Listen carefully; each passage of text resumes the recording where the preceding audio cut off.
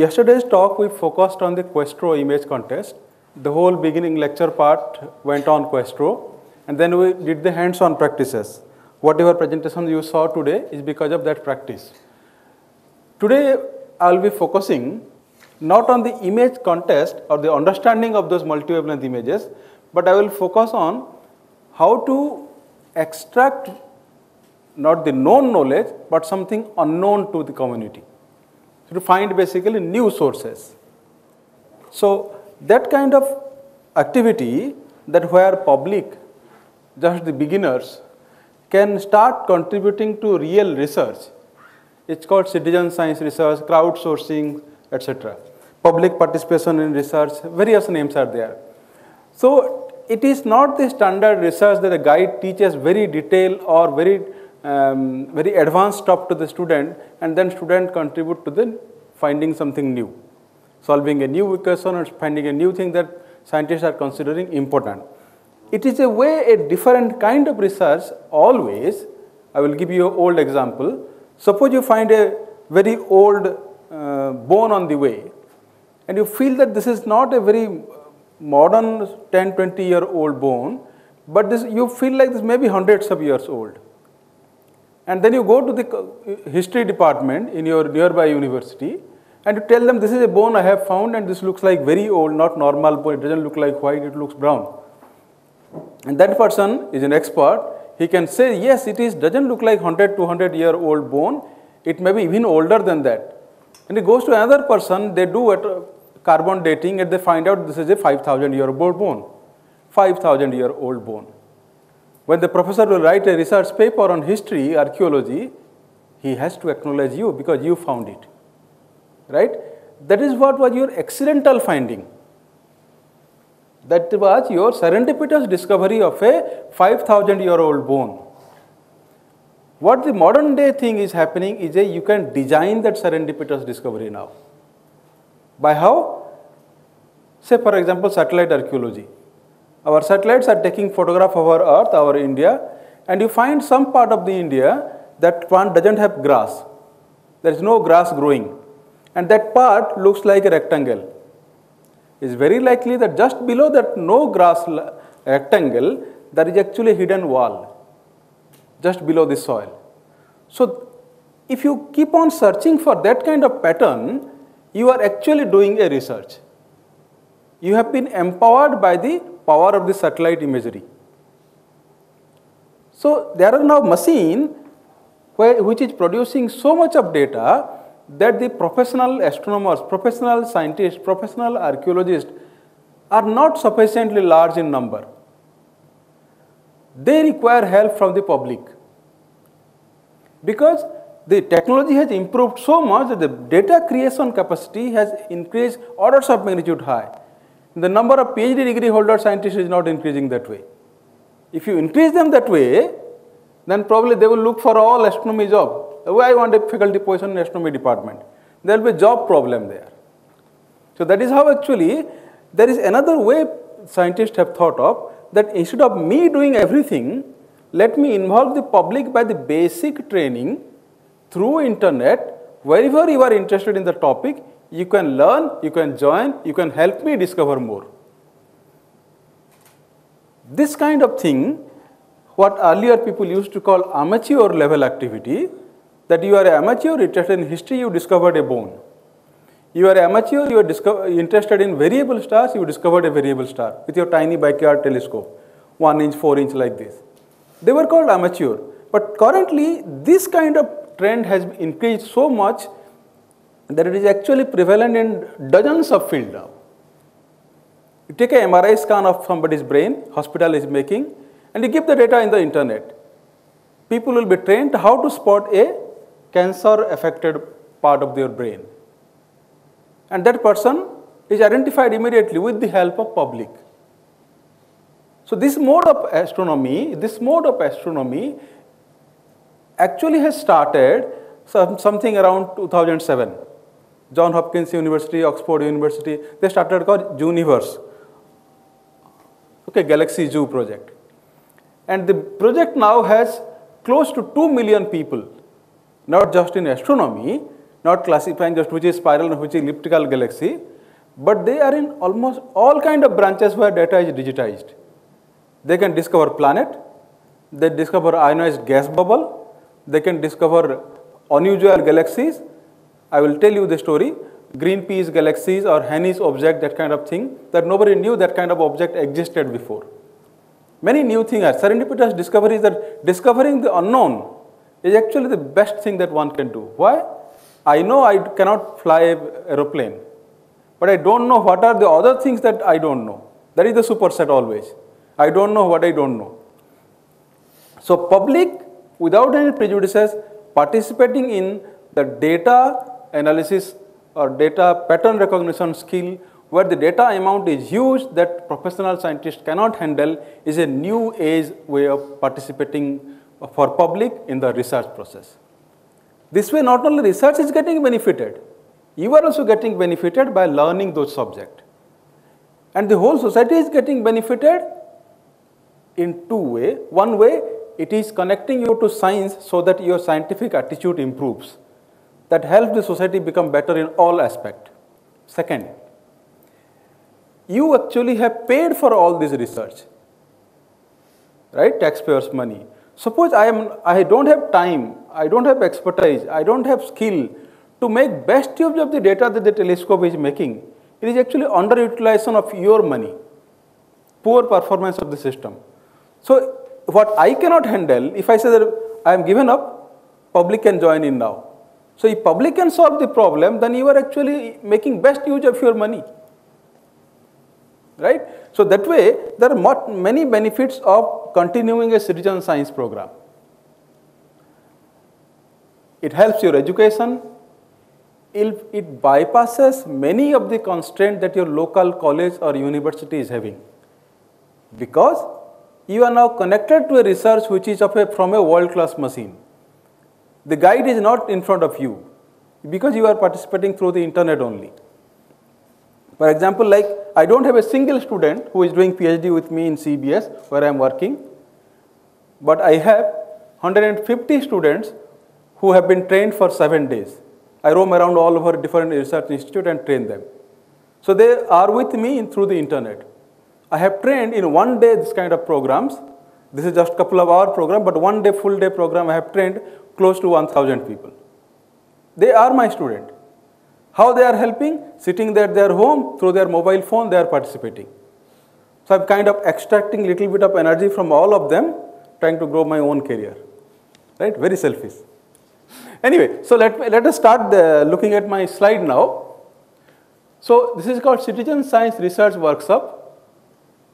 Citizen Science Research, I already described what is that. Being part of a large data searching program from a large telescope so that the quality of your education as well as research participation, however small it may be, it is actually significant and important.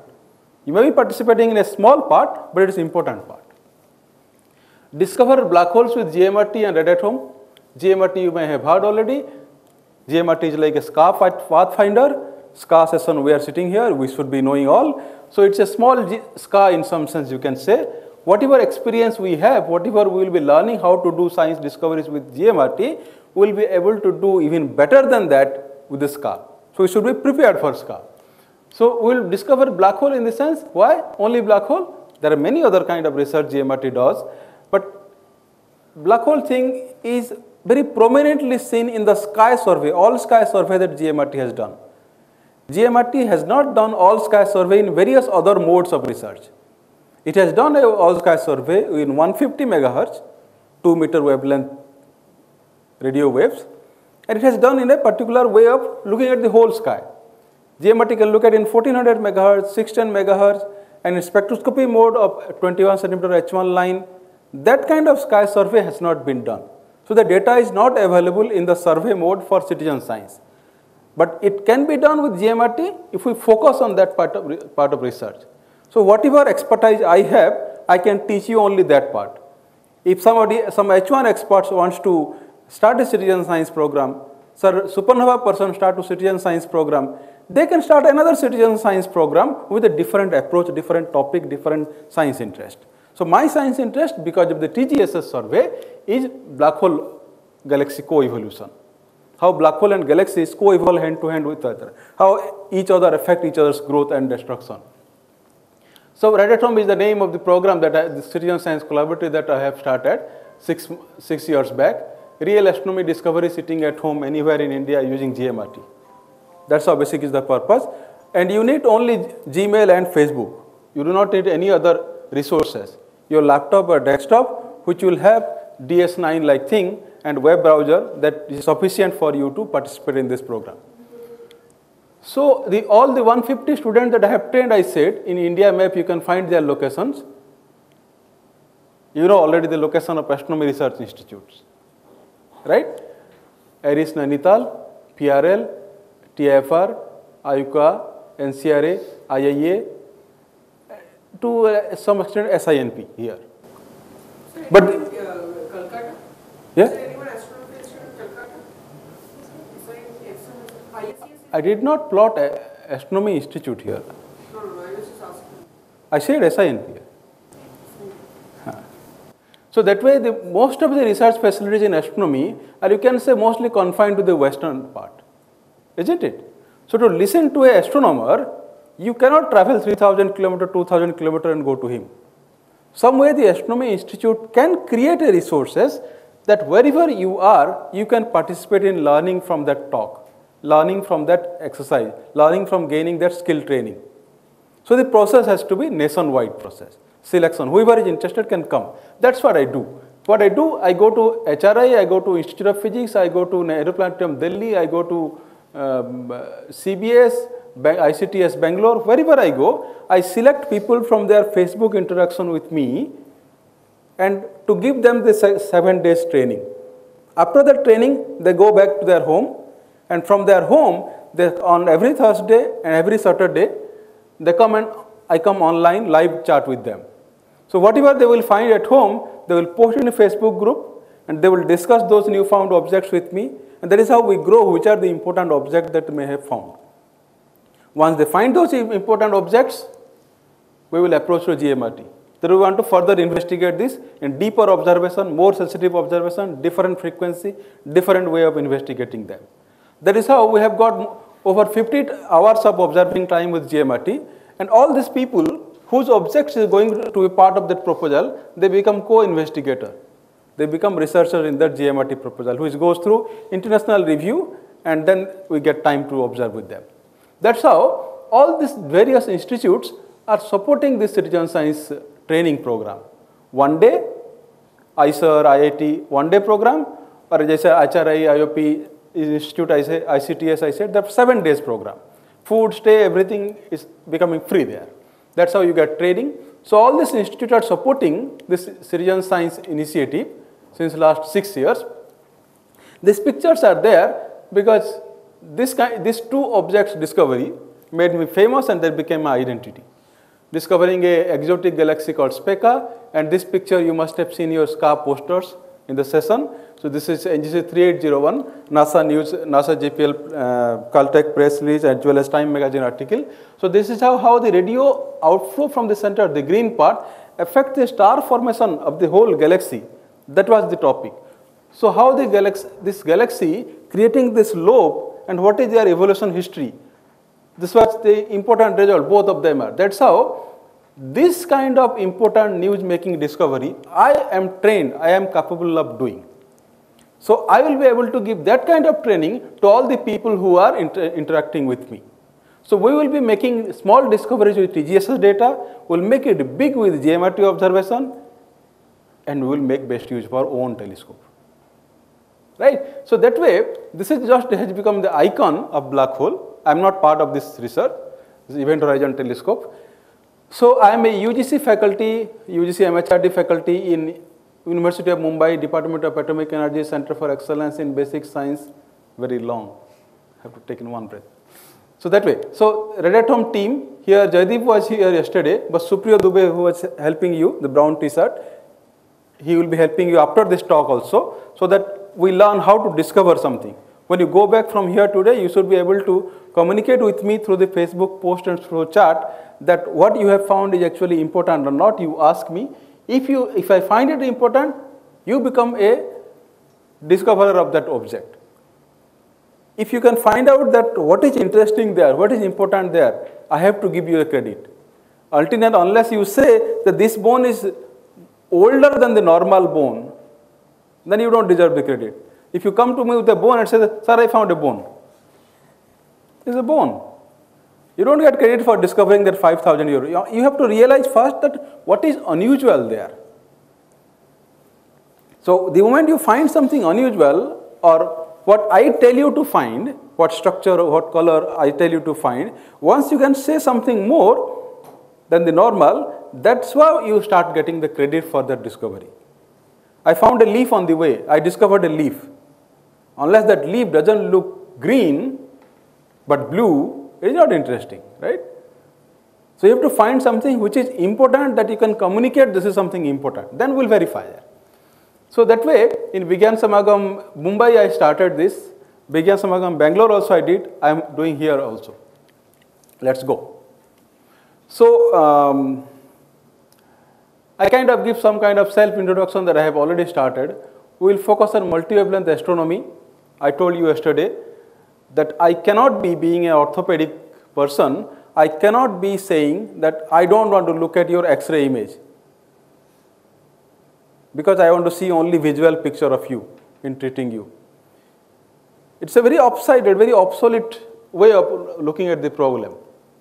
You have to be able to look at the same problem from as many angles as possible, as many wavelengths as possible to get a complete understanding of that process.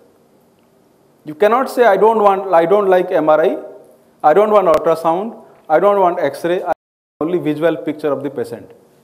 I cannot be a good doctor. So that is why multi-wavelength approach is necessary. Today you may be interested in 30 meter telescope. You like the star constellation optical. But tomorrow you get a PhD fellowship, JRF position in radio astronomy. You will quit? No. Today you are interested in sky in uh, radio astronomy. Tomorrow you don't get radio astronomy institute, but get in optical astronomy. You will quit? No. You join the optical astronomy institute and then finish the PhD degree and you come back to radio astronomy or whatever you like. Today we are building one telescope. By, by the time you finish five year or seven year in your research, you want to come back, the telescope may be a little old. So you have to be prepared. This is a new, new necessity actually in the career. You cannot be narrowed. You can start your research very early, but you cannot be narrow in your interest field until somebody assures you, for example, a job. Okay, so we can have a multi-wavelength approach now, and the scientific topic is black hole galaxy coevolution, how the star galaxy and the black hole is interacting in some sense. They interact by radiation, they interact by a plasma outflow from the black hole accretion process. You can look at the star in the galaxy in optical, you can look at the ionized gas in the optical, you can look at the cold molecular gas from which star form in submillimeter radio, you can look at the atomic hydrogen in radio. So various various wavelengths actually interact with each other when you understand, we try to understand this black hole and galaxy co-interaction. Why citizen science for a big nation? I already told you. Just because we are a big country, we have our own problem because of the size, because of the number. Five IITs are not enough. Seven IISERs are not enough. We are Savaso crore jan- Janata, right? So, to address that kind of issues also, you need to have a different approach. What I say that US appro- approach to scientific progress doesn't help India. For example, they have a world-class facility called Very Large Array. And every year you can find a radio astronomy PhD from India going to America. And since last 20 year, a politically incorrect statement, since last 20 year, no white skinned people has come and stayed in India as a postdoc full time. Why? They know GMRT is powerful. They know GMRT is best in its own way, in its frequency range, in its sensitivity, in its resolution. They come and use every year. Since last 20 years, probably there is no other machine in India which is attracting foreign scientists every year regularly for 20 years.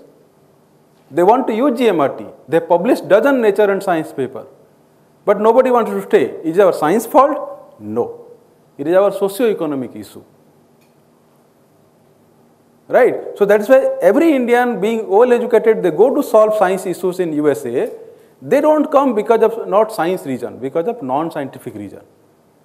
That way we have to solve our own problem then. This is what is a uh, alternate process that I am thinking of. There may not be very large number of PhD degree holder astronomer. Why cannot be there large number of student? There is no other country which has this competitive edge as India has. Largest number of science engineering educated young people communicating to each other in English and connected to internet. China may be having the number, but English is the problem. So that time will, will not long for, last forever. They will learn English. So since 20 years we are leading with GMRT and we are not able to make that kind of nature and science publication discovery like thing. Reason we need more PhD degree holder is not coming that takes 5 years to finish a PhD. So we need that kind of strategic thinking to be able to solve the problems that a big nation like our faces. And citizen science may be the way that with the help of this competitive edge and internet and GMRT's data, we probably will be able to address some of the issue. This is only in astronomy. Suppose we have facility in biology. As I said, citizen science works in all branches possible. Suppose we have facility in biology and citizen science starts in biology, environmental science. Then a lot of people will be able to do their research sitting in their own colleges and departments. So conclusion, this problem this problem of big nation and the big data problem that the machines are going to create in future, it's probably, if we can think wisely in a smart way, we can convert that big problem to a big prospect for a big nation like ours. Can we actually do it? That is why so many institutions are helping me. It's a good, good innovative idea that he is converting the large amount of data that the GMRT has created in the survey mode into a education, training and research system through the internet. This is what man-machine combination, machine and the manpower. That has been combined now to create some new way of solving the issues. Okay, let's go. This is what I say that who am I? My name is not enough. My uh, work is my identity, right? This is the first part of my identity each I am a discoverer of the farthest star, discoverer of this uh, the exotic black hole system, discover the black hole galaxy coevolution that made news. So it's important. So I can do this kind of thing. These various institutions gave press releases on this, so this is considered important. Fine, very good. So the second part of my identity. I know how to analyze data from GMRT, big thing. I know how to talk to people so that 150 people, 1000 people are attracted right? That's a skill again. And I know this is my skill because so many institutions are supporting it. There is an innovative idea basically, socio-scientific experimental idea. ICTS has hosted this camp. They, uh, whatever proposal we submitted for this kind of a camp, it goes through a review program and they fund it, they support it. Everything is free. Wonderful food, forget about the science. So it's nicer again. One day program. One day program, more than 100 people can be accommodated. They'll get the basic RGB training, basic way of looking at the data from GMRT. Then they can go back home and start doing. So the seven day trained people will be guiding this one day trained people. We are creating a kind of hierarchy there. This in Vigyan Samagam Bombay. People were trained for just two hour, sorry, two, three hour. So what we do, we, I teach from home mobile communication through Facebook chat and somebody sitting in, in his home, his or our home, learning the same thing. In e-class we call it. Three hours a week online e-class or e-research session. We submit proposal to GMRT. These people sitting at home become co-investigator on the GMRT proposal. Out of that, whatever data we get, we publish in papers. And they become research scientists almost. Because without any research institute participation, the second line, a mechanical engineer, a oil engineer, a journalist, a school teacher, a unemployed youth, whatever you call it, they can all be author because whatever they discover, that has gone into GMRT observation, they deserve credit for it. You may be a science student, you discover the 5000 year old bone. You may be a housewife, you discover the 5000 year old bone. If you can really discover, it doesn't matter what skill you ha had in your certificates. So other way around I'm a member of the principal scientific advisors consultative group, kind of considered for that that is giving thinking of new socio-scientific issues.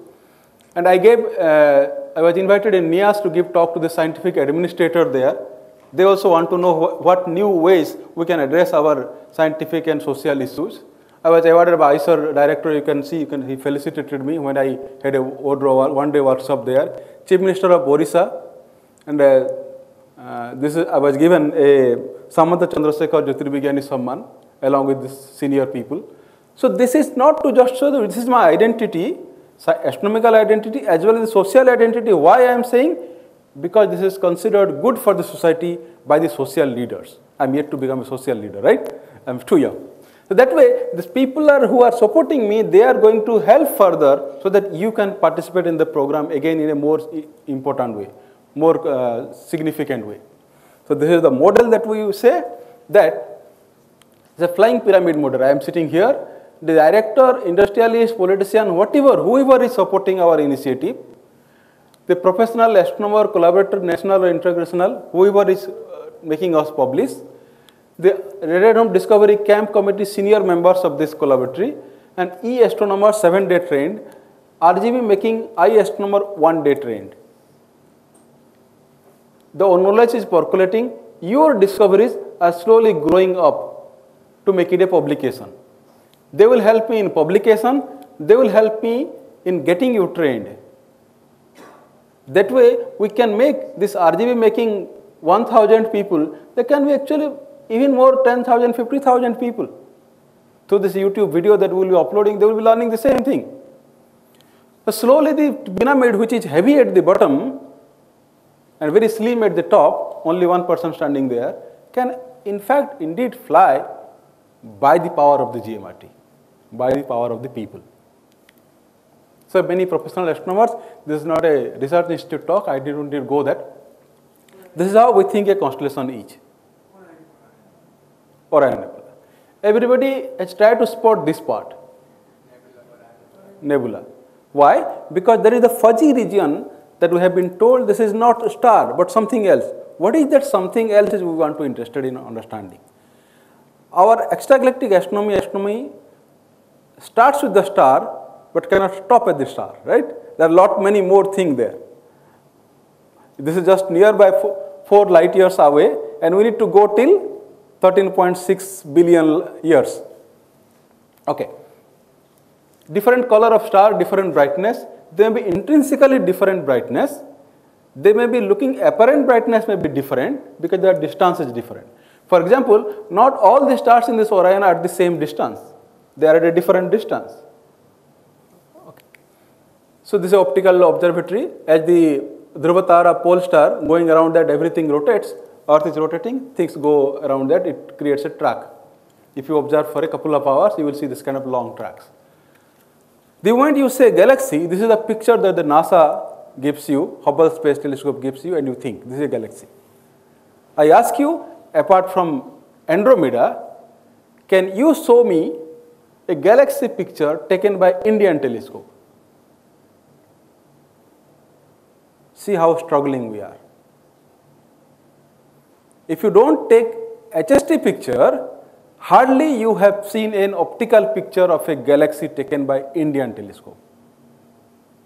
Indian telescopes are not taking galaxy image. No, they are making. It's not reaching the public. It is not that significant that it is so powerful to reach the public. But from the, by the end of this talk, even yesterday you would have realized, that the, we have a telescope, GMRT, which is world class, and you should now be spreading images made with the GMRT elliptical galaxy. This galaxy, you know, the optical galaxy, that there are blue region, there are yellowish region. The dust lanes people call it, very blue. These are the hot, higher surface temperature, lambda max T equal to constant. So the T is high, means it is blue. Red hot is less hot than blue hot. Okay, blue hot what probably doesn't exist. So when you heat a iron rod radiating optical light in red band and you leave it for a while, it doesn't radiate any longer in optical band.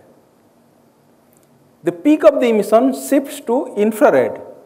That is how when you take your hand closer to that iron, you can still feel the heat from a distance. You don't have to touch. Because it is radiating in infrared, you can feel that the radiation is coming. If you heat that iron hot even more, iron rod, from yellow to it can become even blue like thing. Because that is what is the point that blue looking region are bright in blue, blue filter range because they are 10,000 degree, 20,000 degree, 30,000 degree hot. If they become so hot, the peak of the emission is go to infrared. Sorry, go to ultraviolet. So galaxy telescope picture you have shown. If it is absorbed by that dust there, micron size dust, the red blue part will vanish, it is getting absorbed, or like sunset and sunrise, reddish region is only still visible. Okay, so this is young stars. This region will be mostly older stars. Sun-like star, the sun uh, maximum radiation from sun comes around yellow-green region. That's why we are more sensitive to yellow and green. Probably that's how evolution has uh, made us. This is an elliptical galaxy. There is no spiral arm. There is no color there also. There is no structure there. Why is that? Because all the stars in this system are of similar temperature, similar color, similar age. There is no overdensity somewhere of young stars. There is no smoothness anywhere else. So this is happening because this galaxy is not forming young stars recently. There is no 10, 10 million year, 20 million year, that kind of O and B type stars forming there. They all have been sun-like several billions of years old. How the galaxy has become like this? These are giant galaxies. The gravitational potential of this galaxy should be very heavy, very deep. So that should be attracting lot of gas, lot of galaxies towards them. They should be having lot of gas to form new and new stars. But they are not forming. The reason is still puzzling. We have hypothesis. Lot of people believe their explanation is probably correct, but we have not found evidence yet. So why that is happening? So the most popular hypothesis so far is this kind of spiral galaxies merge and become a giant big elliptical galaxy. Okay, so this kind of spiral galaxies merge and become a elliptical galaxy. So question now is, when you look at the sky, you get all kind of galaxies, like a Haldiram Bhujia. You get all kind of thing there. Your job is to figure out what scientific process or topic you are interested in. So, say for example, this Hubble deep field picture we look at. There are galaxies which are looking blue and big. There are galaxies which are looking tiny dot, reddish and yellowish. They are very small and red. Now, if you can measure their distance, this is a galaxy which is say, for example, 3 billion light years away. Light has taken 3 billion years to come from this galaxy to Earth. Go to this galaxy. Light has taken 5 billion years to reach from here to Earth. Light has taken 7 billion years from this galaxy to here. So, how the universe was 7 billions of years ago, you can pick up those 7 billion light years away galaxies. How the universe was 5 billion light years away, how the universe was 2 billion light years away, how the universe is today. There are all different evolutionary phases of our universe has been printed on a single now. Like you see yourself, you see your father, you see your father's father, everybody in the same photograph. Now, you, to understand where did you come from, how you have become this kind of jeans pant cloth man, you need to understand the dhoti wearing father. Right? So, even before that, you want to basically sort out those galaxies and see what are the physical properties of those long, long back galaxies that have evolved to become this kind of a gentleman today. Correct? This is what is galaxy evolution study. Now we are starting them here today. After roughly 14 billion years after the Big Bang, today's galaxy, they are mostly spiral or elliptical. Go a little bit back, redshift 0.5, roughly like 9 billion years after the Big Bang. The galaxies were elliptical, spiral, okay, but little bit disturbances there, many, most of them. If you go a little bit 5 billion after the Big Bang,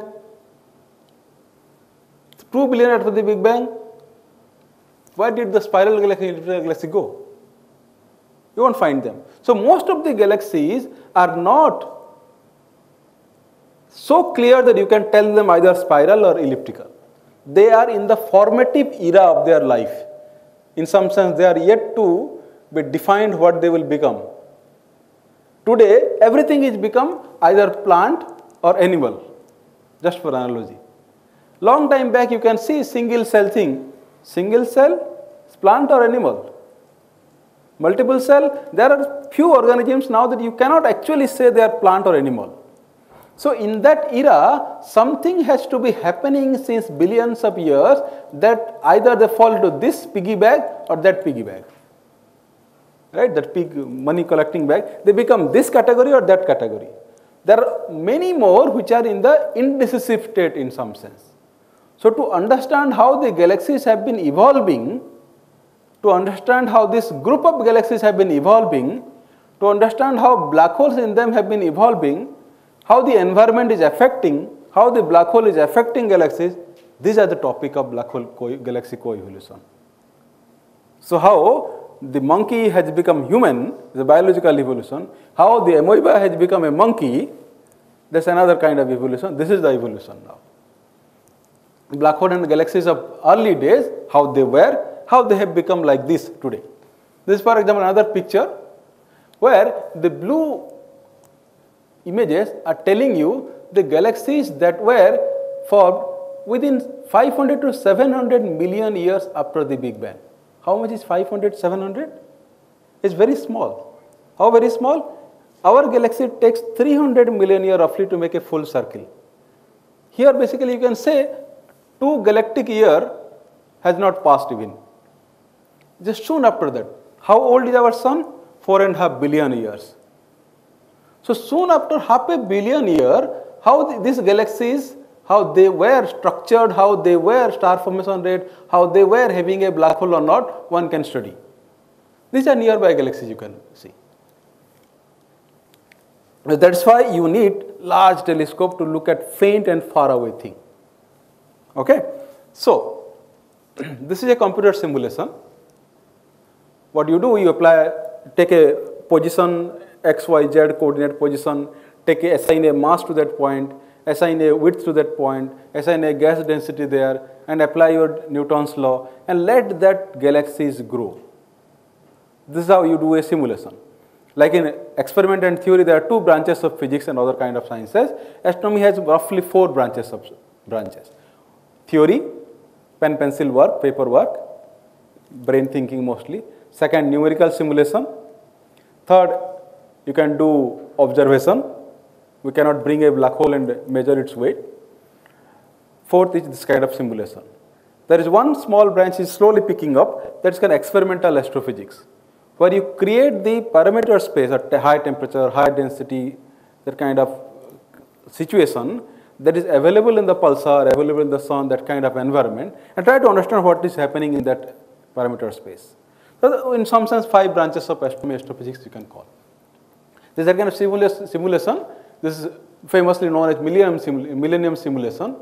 So you notice here, redshift 18.3, very far away redshift, it means long, long back in the time. And in other way around, 0.2 gigayear, 0.2 billion years, soon after the Big Bang. How the universe was looking like. This is 1 billion year after the Big Bang, point roughly 5 billion after the Big Bang, today. Each pixel that you see there, each dot that you see there is a galaxy. Okay. So what you can understand from this picture, let me play it again. Soon after the Big Bang, next, next, next, and today. So the contrast basically, it was uniform and distributed kind of thing. The contrast is growing. You heard in the very previous lecture the CMBR picture, WMAP picture, COBE picture, etc. There is kind of a seed thrown on the ground. And from that seed, like trees are growing.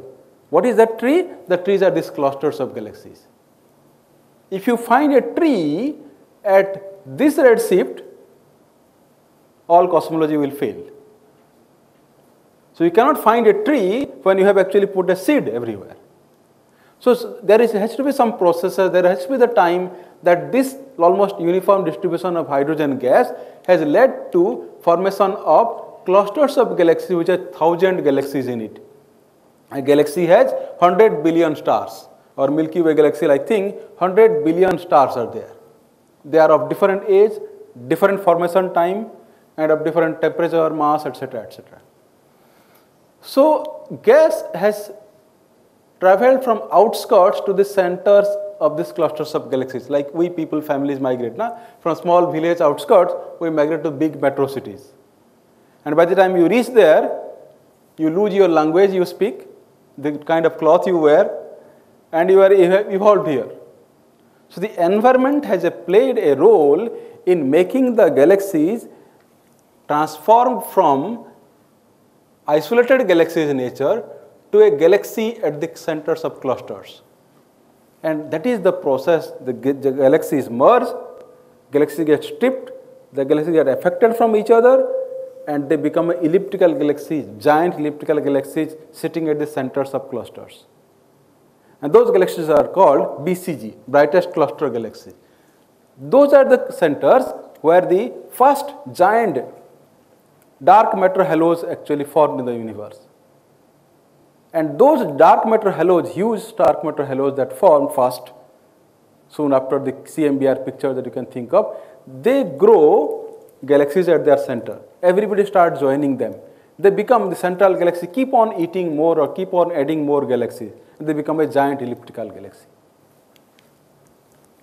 Interesting thing, if you ma- mass of the spheroidal component, the bulge part of a galaxy, the central sphere part there, and mass of the compact nuclear object or the supermassive black hole at the center.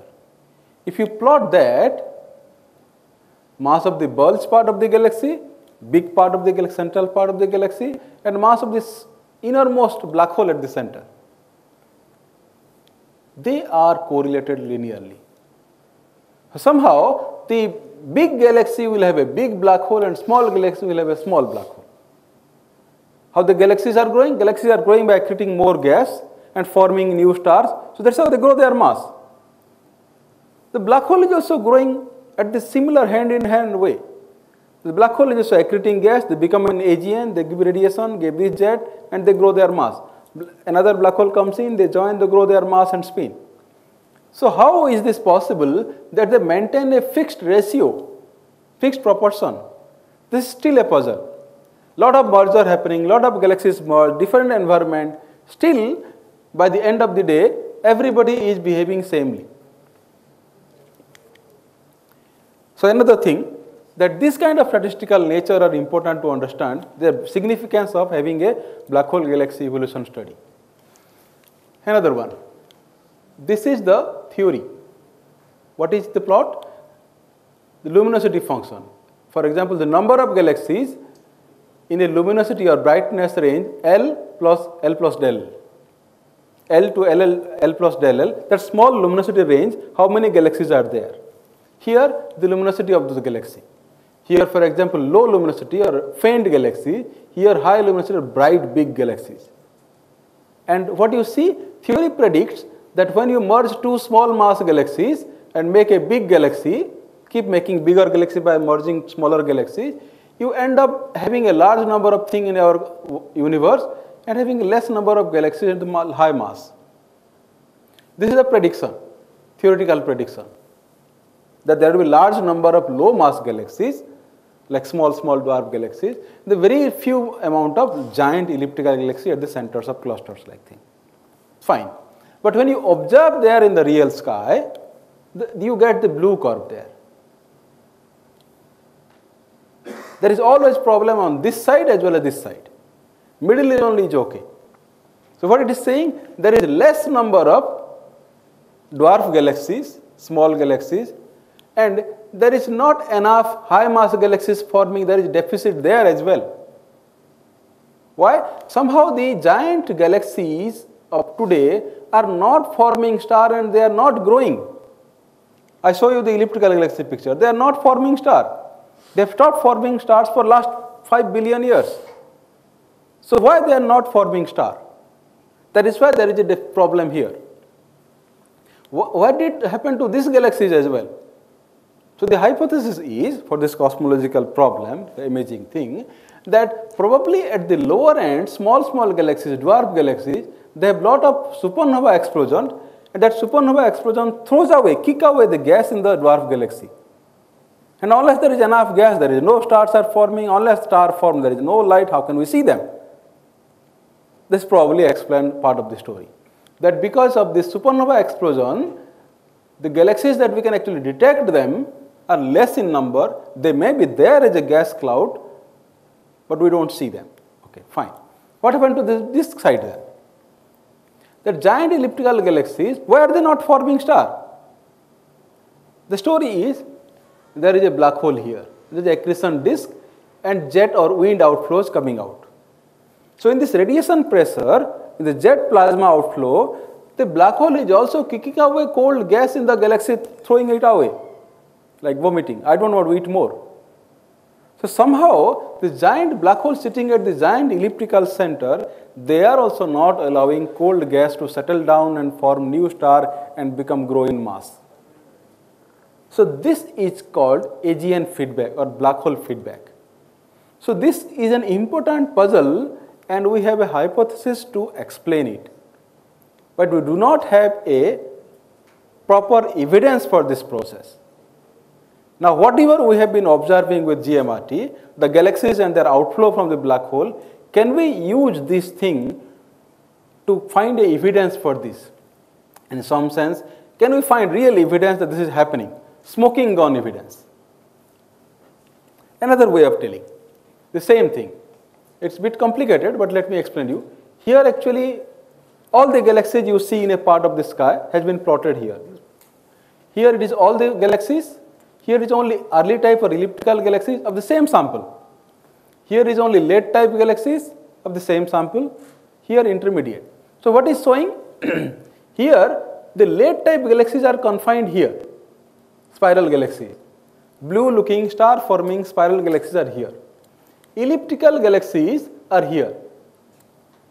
If you merge two spiral galaxy and form a elliptical galaxy, why there is no smooth flow from here to here? Somehow there is a clubbing here, there is a groupism here, and there is a long groupism here. This is called red sequence, this is called blue cloud. If galaxies simply merge and form a elliptical, this should be a smooth flow, smooth track. What do you notice here instead is there is a lack of density here, low density. Something happens that in the merger process of two blue spirals that they quickly become an elliptical. They don't continue to form star. That was is the that has to be explained how that is happening. So blue cloud thing, galaxies, spiral galaxies merge and quickly become elliptical and they live for very short time here. How do you observe a short time phenomena? For example, you go to a station and try to look at that people are living for 60, 50 years, 80 years. How many women I can see who are pregnant? There will be very few. Either because of that they don't come to the station or because of the time period of their pregnancy you can spot them also very little compared to their lifetime. This is what is actually that they live very little time in this transient phase. That they quickly, when they merge, they become this. So can we spot few galaxies which are transforming in that intermediate phase, in, the, in their transformation phase, and we spot them how they actually change? That's it, interacting galaxies. When during the interaction, a lot of star formation happens, lot of ionized gas, dust happens.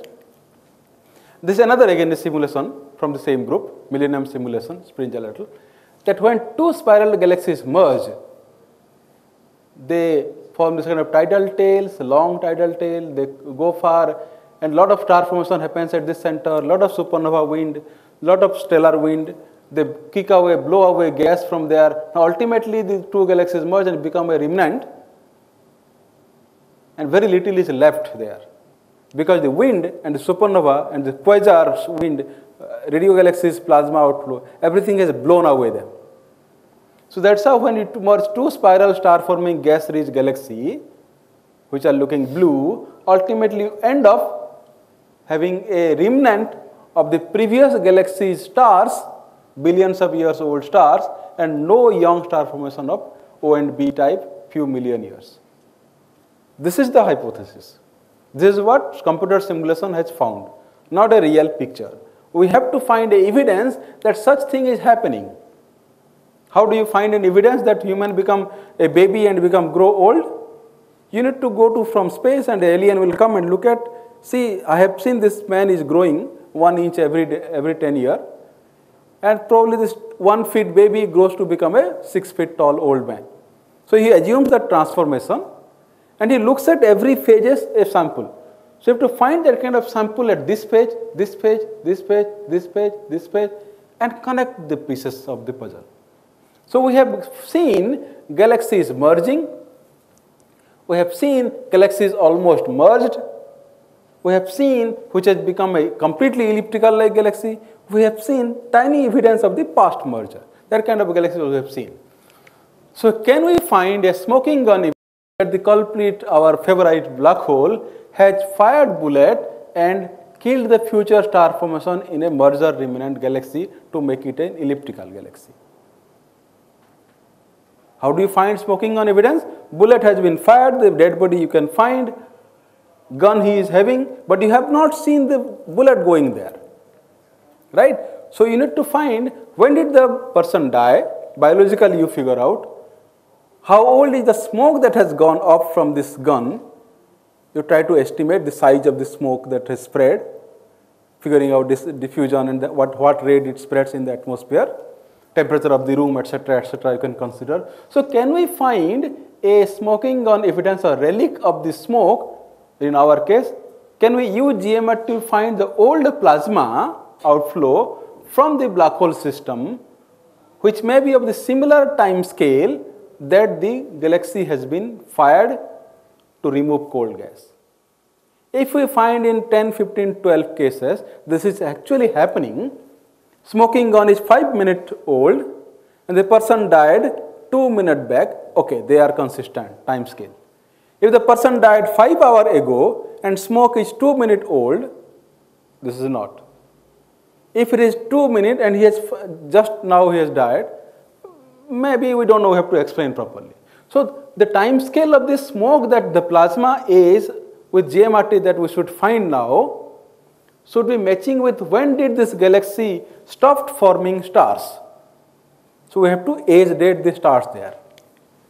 Okay, that's how we have to find a galaxy at the center and the plasma, diffuse plasma, relic of the smoking around the galaxy by looking at the TGSS low frequency images.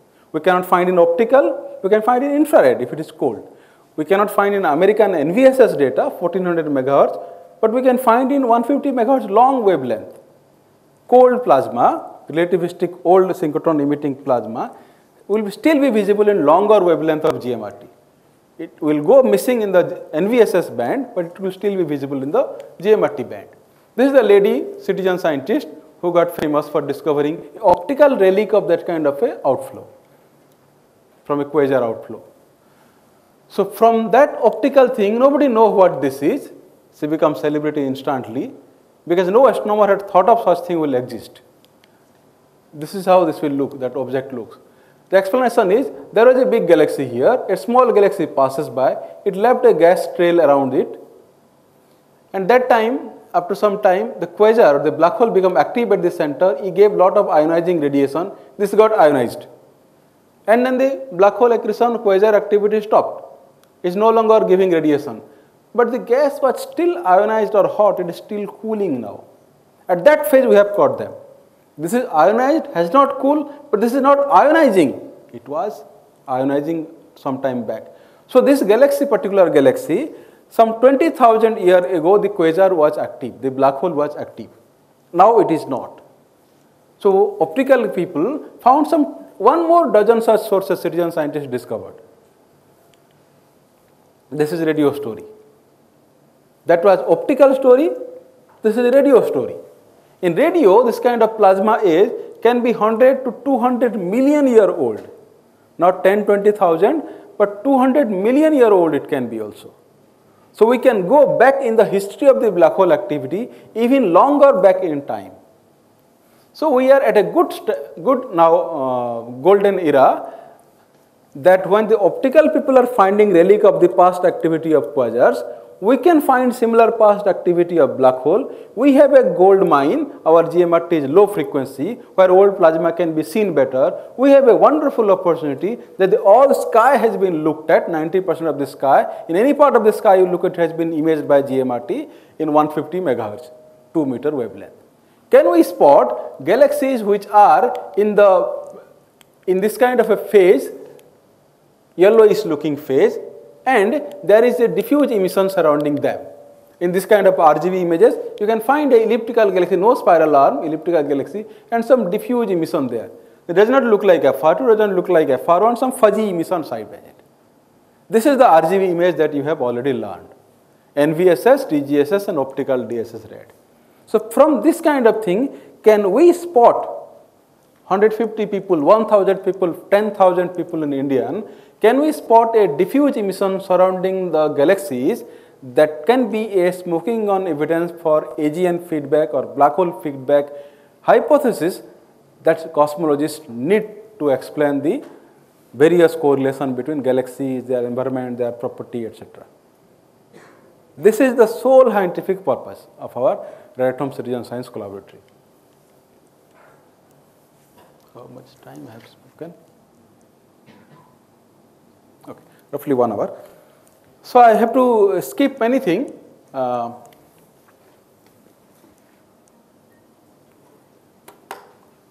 I will not go to multi-wavelength pictures of various galaxies to explain this thing. I will quickly go to a couple of examples only.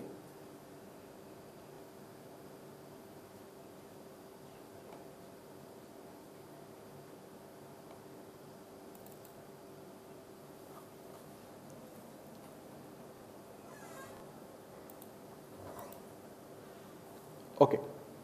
I told you that smoking gun evidence thing. This is one equation I will tell you. What we do, Chiranjib Konar's paper, what my our collaborator there, that we are kind of aiming at black hole archaeology or smoking gun evidence for black hole doing this thing.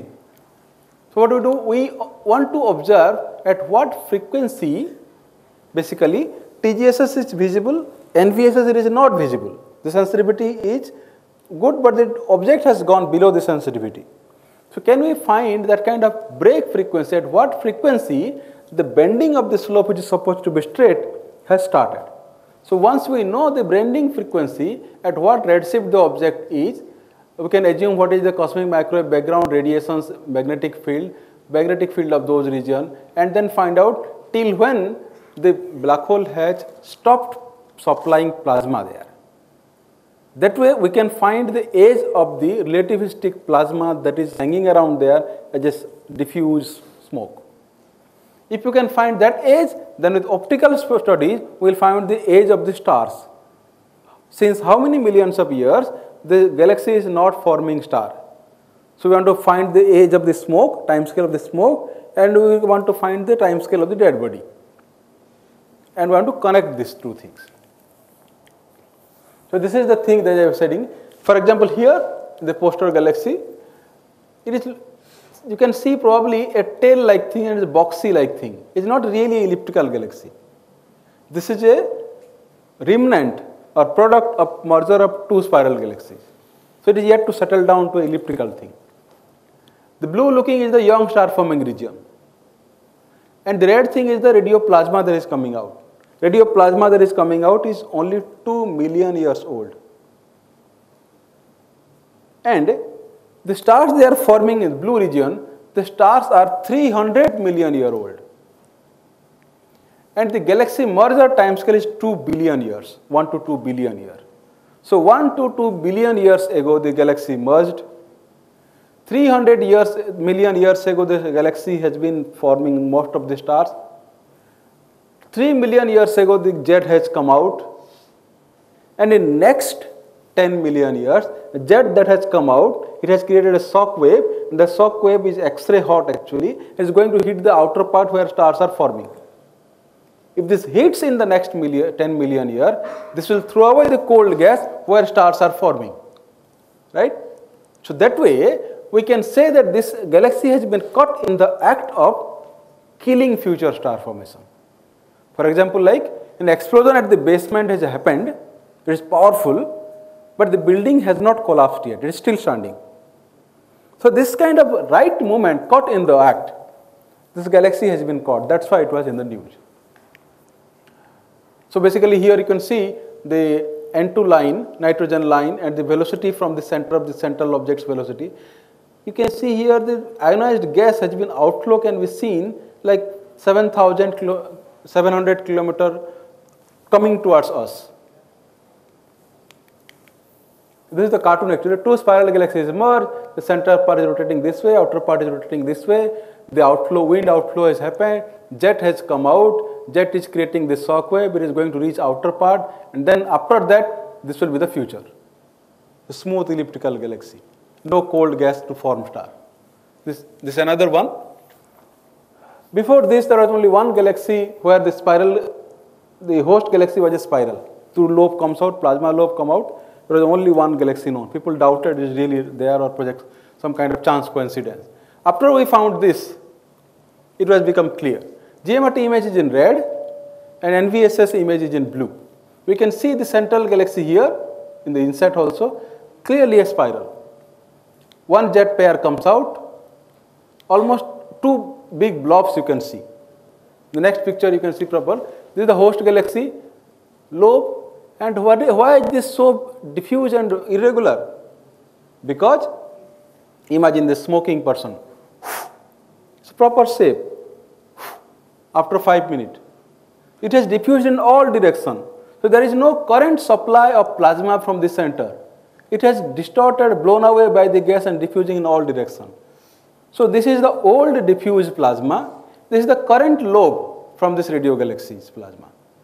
So if you can find that kind of thing from this galaxy, old plasma, new plasma.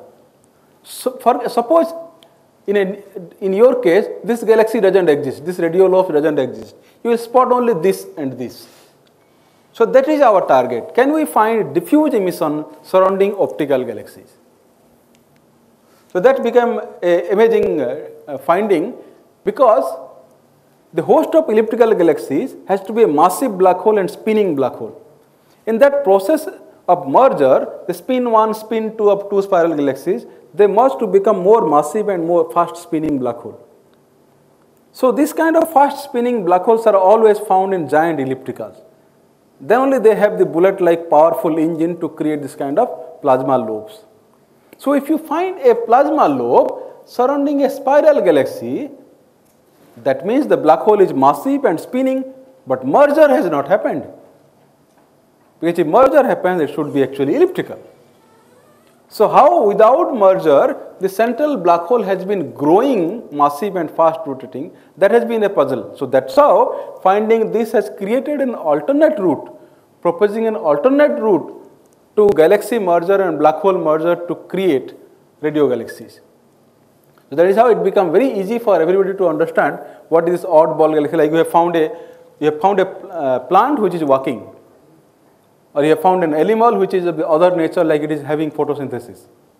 So oddballs are important to make the theory that you have currently running more general. This is from our Subaru observation, uh, Japanese 8 meter telescope. That the galaxy, central galaxy is actually fast rotating more than 350 km per second rotation speed. Very massive galaxy there. XMM Chandra observation also we have made. The center of the cluster is here. This is not the brightest cluster galaxy. Though it is the brightest, it is not the central galaxy. So it must be that the galaxy was actually outside and is slowly trying to join the cluster. It's a new entry. Then another one with Joydeep Bagchi, we found this. Um, this was my Speca and this was Joydeep Bagchi's object. Central galaxy, one pair of lobe, huge giant lobe you can see. You can see the spiral arm much better.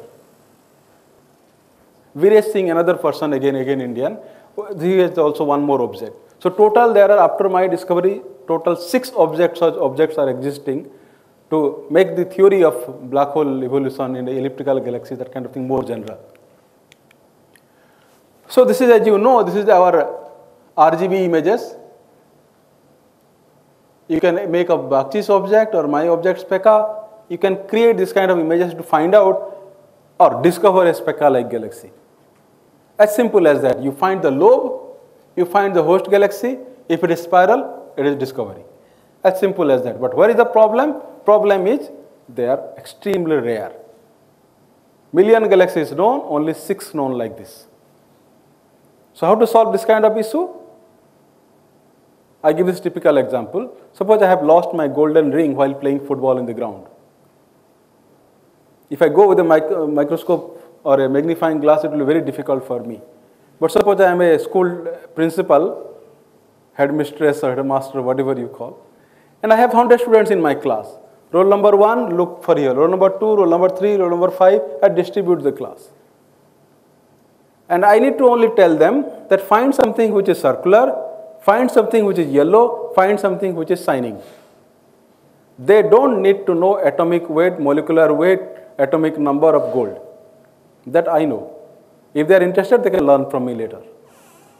That is the purpose, that is the method.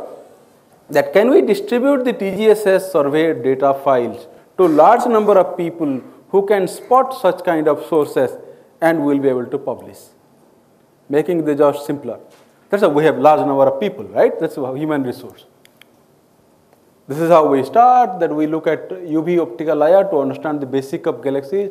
Then we look at the radio galaxy, NVSS, TGSS, ROR, as simple as you have learned through the Questro contest.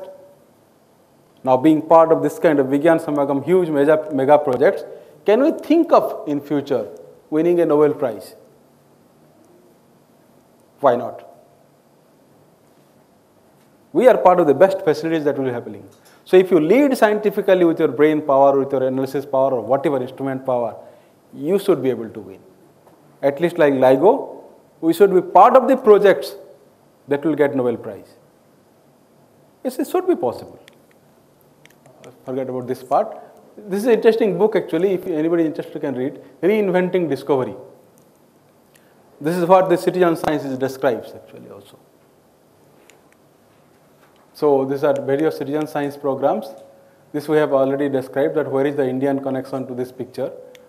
Uh, that is where Questro is. This is another picture that I should say. That this is the plot from Wikipedia of course. Then this is the size of the telescope and the year that where the telescope started functioning.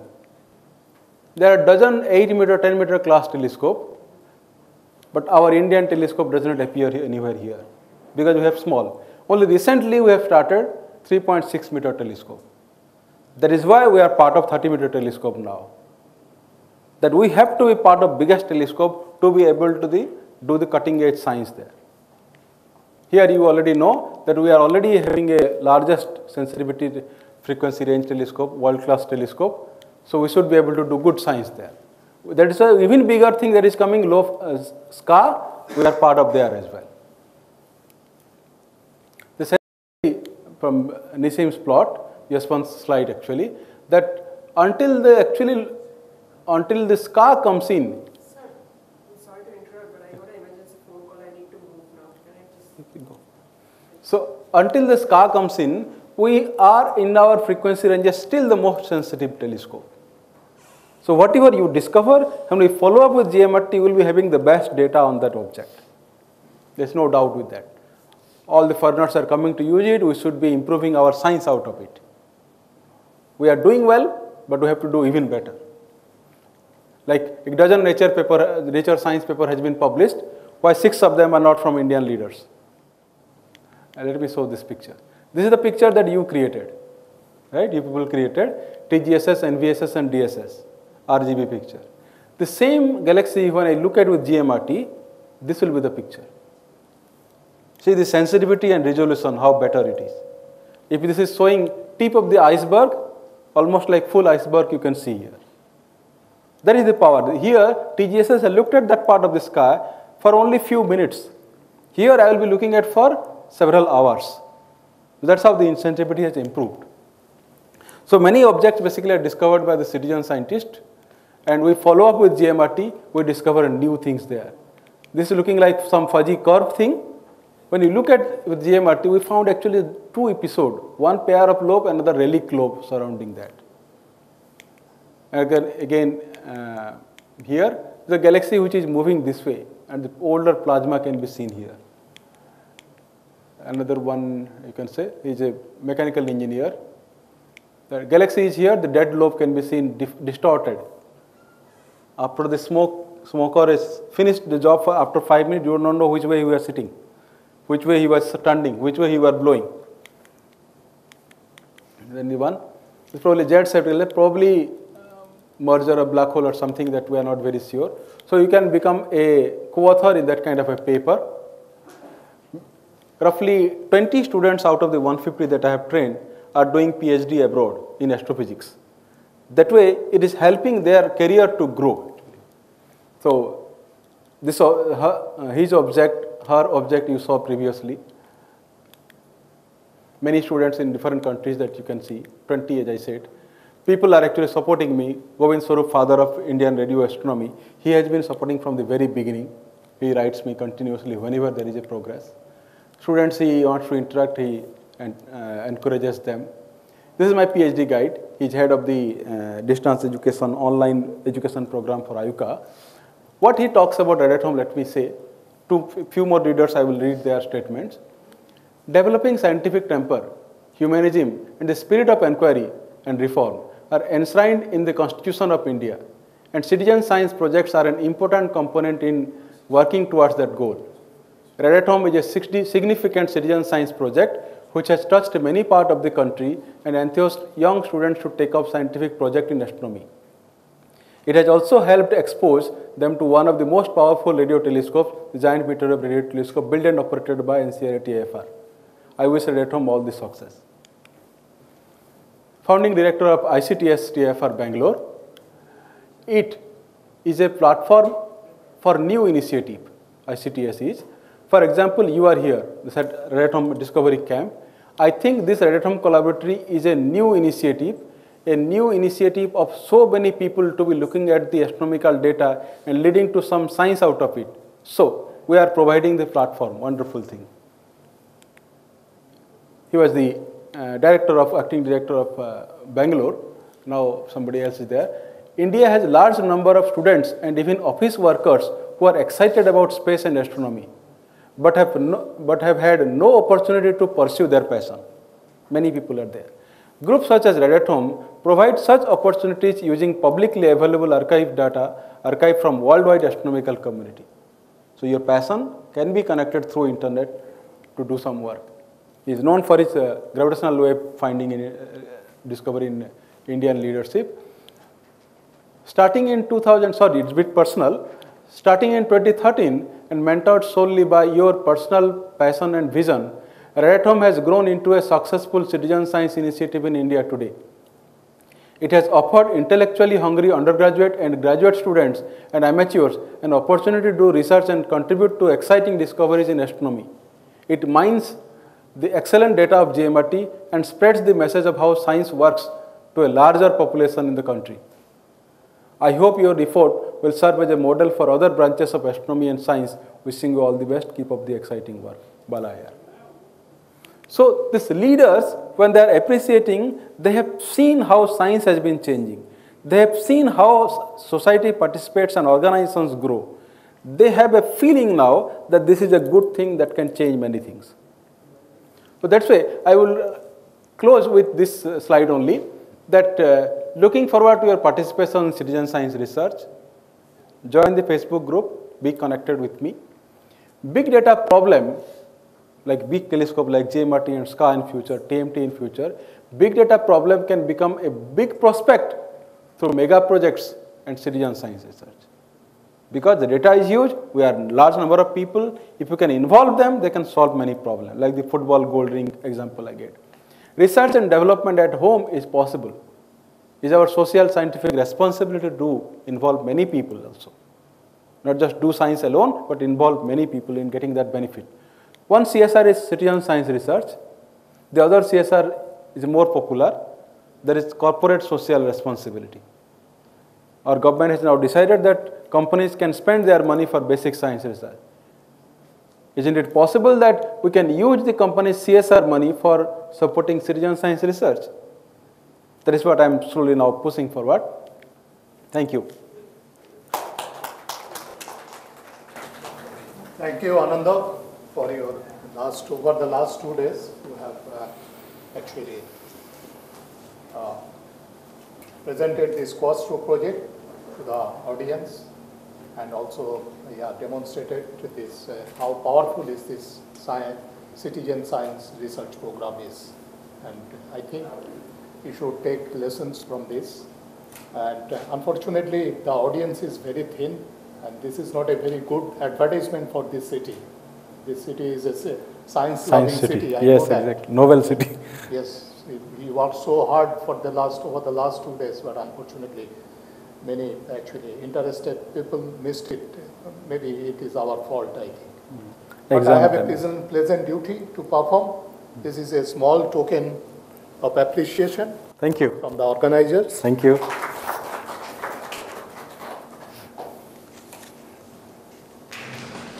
You announce the, yeah, first, second, third. Uh, Should I uh, tell the name or you can come directly? Three presentations, right? So one person Four. week Four. went you went. Fourth presentation. He had uh, discovered only one uh, annex.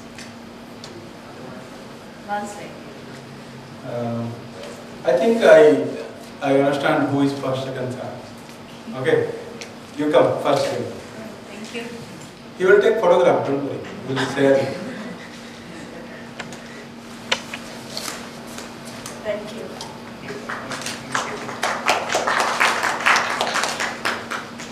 Sit here. Please state your name and from I where. am Sukhvinder. Right, right now I'm uh, with uh, MP Birla Group, uh, planetarium. Okay. Yeah. So. Uh, It is uh, under Devi Prasad Duari. Yeah. And uh, I have been in touch with uh, Mr. Hota from, uh, I think, uh, last. uh, sir, Varampur at the training. Yeah, Perambur, yeah, there. I was really inspired and uh, from there onwards I am always attending his class and trying to learn new things and I was here uh, to know more about this, uh, how we can uh, get involved more into it and today, today I really uh, am inspired further that we can go ahead further with the research and I hope that we'll do something. Are you part of this uh, Devi Prasad programs that is Radio Job? Uh, Uh, Anyway? No, Devi not, Prasad has one program. Yeah, yeah. Yes, has one. not yet, we are just uh, But unfortunately, he is in uh, Germany, we could not uh, yeah, do that at this time. Thank you. Good luck. Stop your camera. You come. Come this. Congratulations.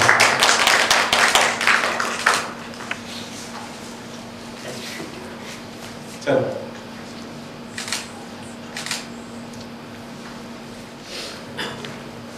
Congratulations.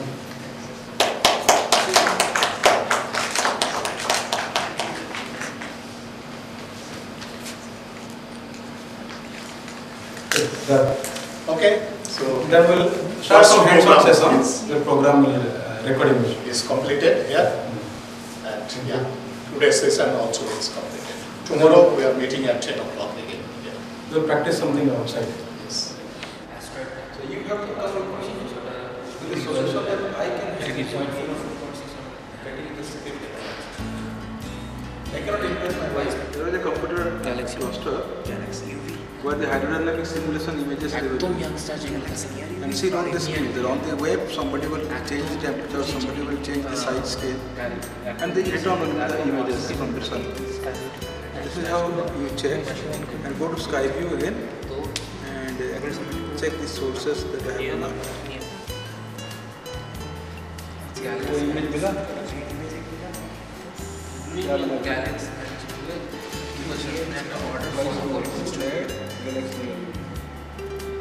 Temperature क्या हुआ 130 kelvin almost 130 kelvin so object that is radiating in 22 micron is 130 Kelvin hot. How much is 130 Kelvin? Minus one forty centigrade. It is hotter than you or colder than Very you? very good, very good. So can it be a star? No, Of course not. No. There is the point that when you go from ultraviolet optical to 22 micron infrared, you no longer see stars in the sky. You are actually seeing frozen cold stuff, which are which are asteroid, comet like things. It can be cold molecular gas cloud.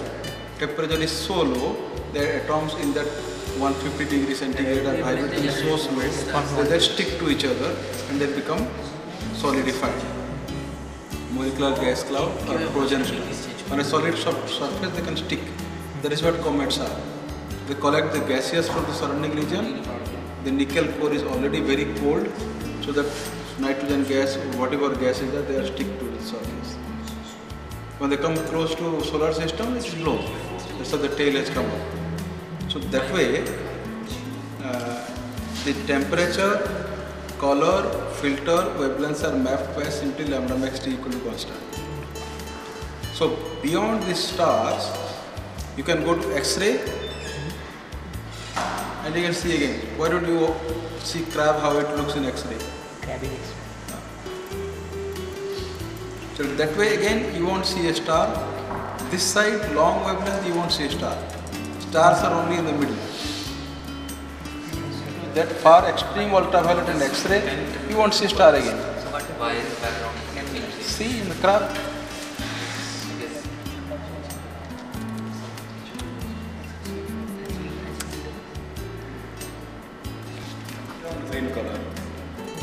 Forget about that part now. That's very technical. So you should be able to say what is the blue region, what is the green region, what is the red region. What is red? But what does it mean? What does the Y22 emission mean? Can you say? Your picture, show me your picture. Okay. What is the red telling you? What is the difference between the red looking region and green looking region?